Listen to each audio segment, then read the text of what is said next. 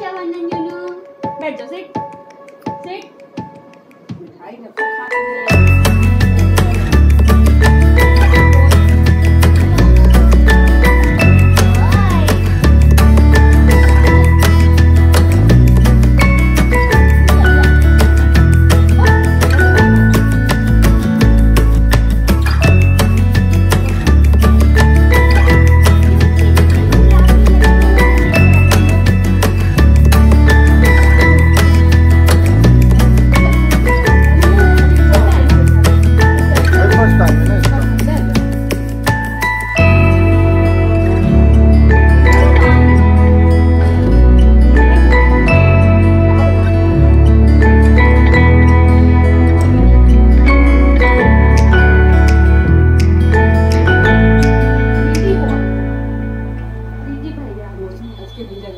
你先夹一下